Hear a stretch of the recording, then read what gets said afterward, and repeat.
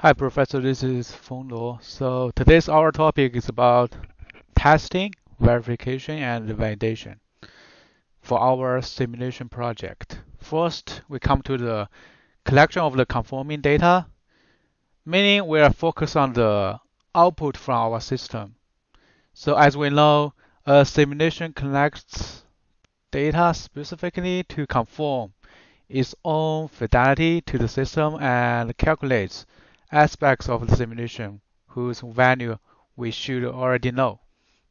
So basically we'll be do the comparison for the inputs and outputs. Since I was doing the the game design, which is the the tanker game, you can see the, the on the right. This is the screen when you fail the challenge. By the end, you be see the some of the metrics about the numbers. So a couple of the outputs from my system, see the number of enemy, tanks killed, number of lives used, and the total number of the bonus remaining. And we also have some initial inputs for the system, like the number of the, my tank initial bullets, like 500. You see, once we, we do the challenge, by the end we see only have the 470 left. And we have another input score the main screen width width and height that define this area. And the max number of the enemy tank on the on the on the map. And also the number of lives the player have. So we we define the four. Those are the those can be customized. You can define your own settings so for this, what we can do is like we can create the the data table or graphs to get an idea about the output data. And we can do on top of that, we can do the analysis to see how we design the each of the maps, the levels. We have in our in my game we have the five levels, so we need to balance the game difficulty and makes the, the game is much more fun and easy for user to access. And next we talk about the verification. So couple aspects for the verification is like first I will be focused on the code verification and next is about the feature test.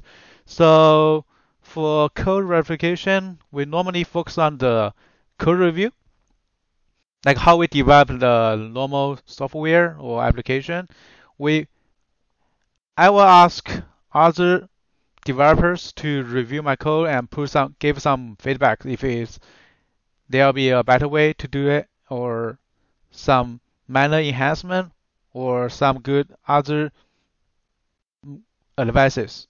And also we can do the code walkthrough. We can rec- mean we can re- record the, the code walkthrough, like a video to explain your code, see how you organize your solution and your code style, and the main, explain the main methods, utilities, and the services, which is a good reference for the for the for, for the verification. And next we'll be writing the unit test, which is like do a testing for each of the unit to make sure the each of the unit is functional and the output is is is, is our expectation. And uh, last one, we also need to do the integration test. Like we have a lot of modules. We have like like in my game, we have a different menu, we have different widgets. If they come across together, they merge. We need to make sure they all working correctly in together. And the next will be do the feature test like do the play play testing to ask other people to to play the game and give the the feedback. We can we can create a survey for that, a couple of the questionnaire, and they can give some feedback, see how the game looks like. Uh, is is the game is easy or hard or something else. And also we need to show our interface to to the people, see whether our interface is good enough and is attractive, or we need to do something else. that's kind of the verification.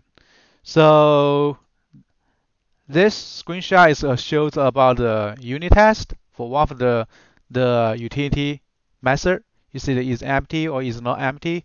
Just give the the mark input and you are compile the output, see whether it's it's is our expectation. And next we'll be talking about validation. Since we know for the validation is more about the question about the does the model represent the situation we want to describe? So yeah, that's that's that's the where our initial thoughts about the validation. I'm developing the the the entertainment game. It may not represent the real world situ- real world scenario or cases. So, but I do but I do plan to perform validation for my solution, like for the event and also the extreme condition. For the event, we know in the system we have a lot events like the bullet explosion or tank explosion or tank movement, and also the key press. You, you press certain key, what would be the event or the the activities will be happen. And also the extreme condition, like the max number of enemy can be in on the map. So it means is that is that okay to mean the max number, right, for the each of the level. See if we have five for this, and how about ten on the map? Is that difficult or is not feasible? And also the layout layout of the map, we make the map more complicated and see whether it's is playable and is it does it fun for that. And also next one we can set more limit for the user. Say like they want to do the the more high higher level challenge, we can set the minimal bullets. So yeah, like this is the screenshot for the for the game. So those are those are the enemy tanks. Those are blockers, like water the blue stands for water, so the the the bullets can pass the water, but your tank can cannot pass. Those those white ones stand for like like iron, like steel. The your bullets cannot pass as well as your your, your tank. And those are are the bricks. You can use in your bullets to to destroy those and even though you cannot pass. So my tank will be go around and initially we have five tanks on, on the map. Like I said, the extreme condition, we can set more. Maybe we can set 10, see how the game behave.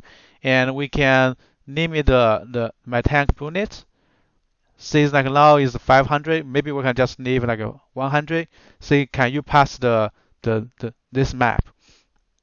Something like that. Those are ideas and we do want to give the demo for this, yeah, that will be easy for me to explain the the me mechanism be, behind the, the game and what are the features for the for the for this game. So you see on the top we have the menu bar. They have a lot of options to do the configuration for the map and change the behavior of a map of, of the game.